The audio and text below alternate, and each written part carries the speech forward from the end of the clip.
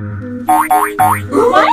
妈妈妈妈，我的零食不见了！我在厨房准备吃的呢，没拿你零食啊，看错了吧？妈妈，真的？啊！你这是给儿子生日趴准备的东西，你。我看儿子吃那么香，我就尝一个而已。儿子，咱爷俩之间你不会这么小气吧？你可是都吃光了，那你说现在怎么办？你赶紧给我买回来，不然我马上去？我马上去？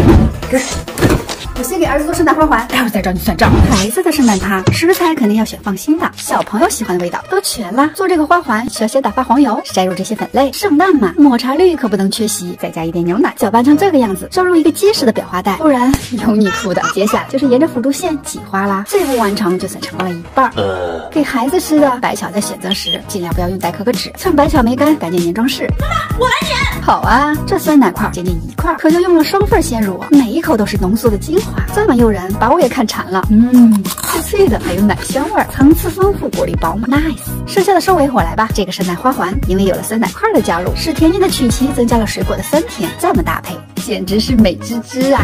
哇，